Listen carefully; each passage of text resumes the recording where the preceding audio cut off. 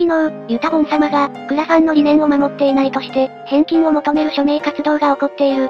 という話をご紹介しました。あの署名が行われている、という事実だけでも、十分面白かったんですが、さらに面白いことが起きてしまいました。なんと、ユタボン様、あの署名にビビったのか、動画でちょっと真面目になっていました。なんやねんそれ、最初からせいよ、それってあれでしょ、もしことが大きくなったら、お金を返さないといけないかもしれないから、それで焦って真面目なふりしてるだけでしょ。要するに、お金を返したくないだけですよね。もう魂胆が見え見えですよ。どんだけお金返したくないねん。まあそりゃ返したくないですよね。支援者の金で旅行して、遊び回れるわけですから、この動画を作っている時点で、署名の数は4000人を超えています。またちょっと増えてて草。さらに署名ページには、次のような文章が、書き加えられていました。また、刑事裁判や民事裁判含め、弁護士に相談させていただきますので、弁護士費用全額請求させていただきます。そして、SNS や YouTube で、出演してしまったことに対してのお詫び会見の開催と、SNS と YouTube 全アカウント凍結していただきます。場合によっては、警視庁や警察署へ通報させていただく場合がございます。目標達成1万人超えいたしましたら、弁護士に相談し、クラファン支援者、リバーズエコ小川社長除く全員に、全額返金 PayPay 被害者全額返金弁護士費用全額請求を求めるようにいたします。また、即刻リバーズエコ小川社長へ向かっていただき、説教等を受けていただきます。あらら、これはまずいですね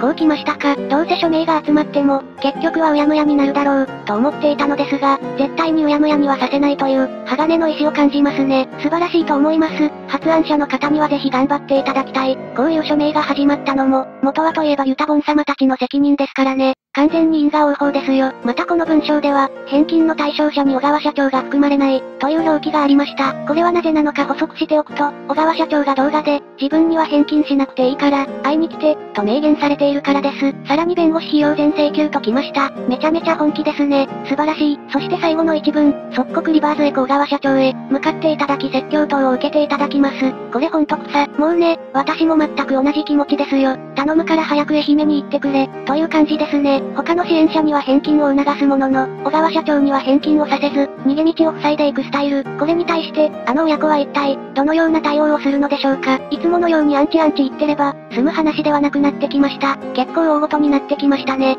署名数はじわじわ増えていますので、これ本当に1万人くらいなら、いきそうな感じです。このまま署名数が増えて、最終的にユタボン様のチャンネル登録者数を、抜いたら面白いですね。この署名活動を受けてか、ユタボン様は動画で若干、真面目になっています。なんかいつもより、露骨に説明が多くなっていて、笑ってしまいました。あれたまたまなんですかねタイミングが偶然一致しただけなのでしょうかいやそれにしては、説明が多い気がしますが、私としては、この署名活動をきっかけに、きちんと今までのことを謝罪した上で、で今後はきちんと不登校時を励ましていく、と宣言するのが一番いいかと思います。そういう誠意を見せずに、急に真面目なふりをされても、お金返したくないだけでしょ、としか思いません。まあでも結果的にユタボン様が、真面目になったのなら、それは結果オーライでしょうか。なかなか世話の焼ける、少年革命家ですね。最後までご視聴ありがとうございました。